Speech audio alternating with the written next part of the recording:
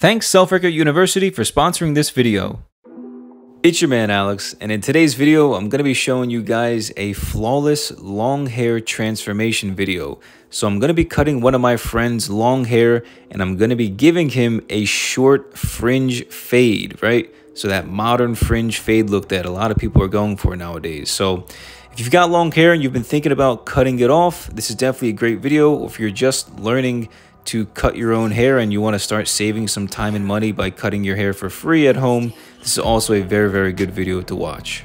So using my clippers, I'm putting on the number 3 guard with the lever open and I'm just going up right around to the part line and debulking his entire head, right? So the goal here is to just debulk and clean up the area underneath so I can go in with the shorter guards to give him a nice fade.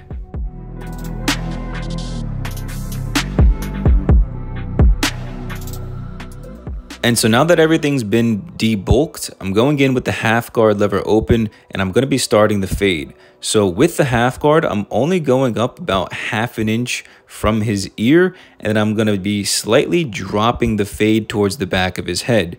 Now, also notice how when I'm putting in this guideline, I'm not making an extremely hard line, right? Because I'm not going to be fading in too much. So his hair texture is a certain way where I can go in and lightly flick out as I create the guideline so I don't need to have to go back later on and remove any harsh guidelines. Now with the number one guard lever open, I'm going up half an inch from the previous guideline, again making sure that I'm kind of having a gradual flick out motion so I don't dig too much into the hair and create a hard line.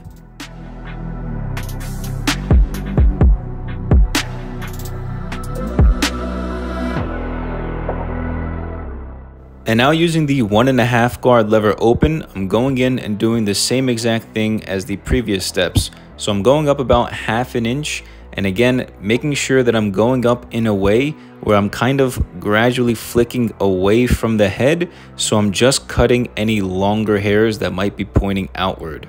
And if you're also someone that's got softer, thinner hair, I think cutting your own hair or cutting somebody else's hair like this is definitely a really easy way to cut hair and make the steps very, very simple and not have to take too much time with the haircut.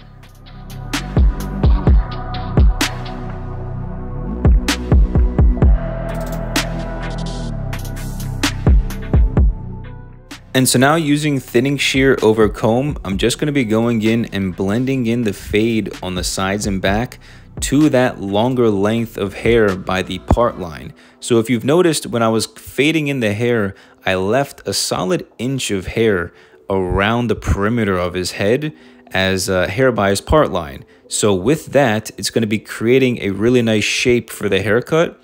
And I'm just going in now with the thinning shears over comb to blend everything in.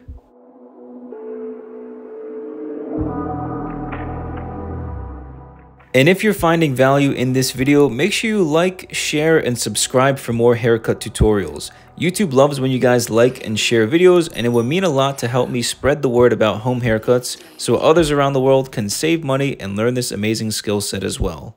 Before we continue with the video, I want to thank today's sponsor, Self Haircut University. The goal of SHU is to help you overcome your self haircut fears and become an expert self haircutter in less than six months. Learning this skill set will save you one to three thousand dollars per year for the rest of your life. Because we all know barbershops today are getting more and more expensive and taking up too much of our meaningful time. Within 72 hours of joining SHU, I will personally be hosting a coaching call with you directly to discuss a plan of action to get you started on the right track. With over 100,000 followers across all platforms, video testimonials, and 14 years of self-haircut experience, there's no better person with more passion than myself to guide you through this self-haircut journey. Click the first link in the description to start today. Thank you Self Haircut University for sponsoring this video. And so now that the fade is complete, I'm going in now to start cutting the length on top. So using my scissors and my comb, I'm going to be leaving about two and a half to three inches of length in the front by his fringe and I'm gradually going to be shortening it as I get towards the back to blend everything in to the fade on the sides and back. So I'm giving him about uh, two and a half to three inches in the fringe And then as it leans towards the back, it's probably going to end up being about an inch to an inch and a half. So you'll see there's going to be a slight like 45 to 60 degree angle from the front to the back.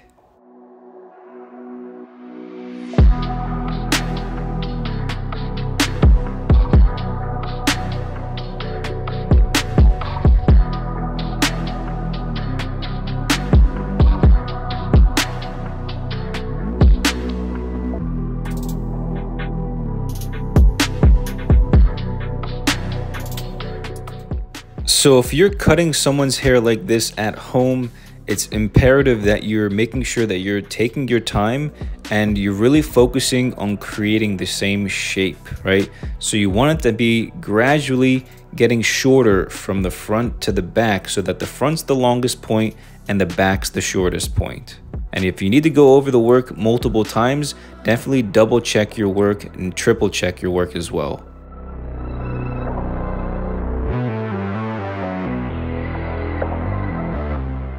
Now for the styling, I ended up using some texturizing powder by Suavecito and some claymation by Hanz de Fuko.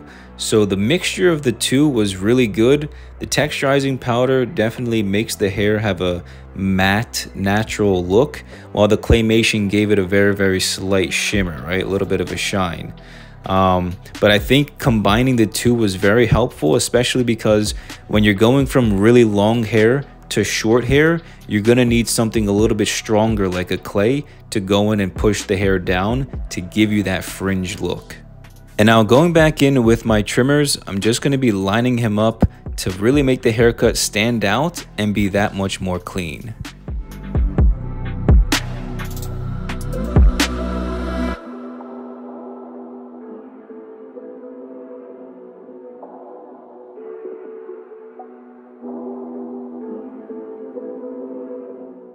But you guys, this is the final look for this flawless, soft, and long hair transformation haircut. I've been cutting my own hair for over 14 years now, since I was 13 years old, and I absolutely love teaching others like yourself how to save one to $3,000 per year by learning this amazing skill set.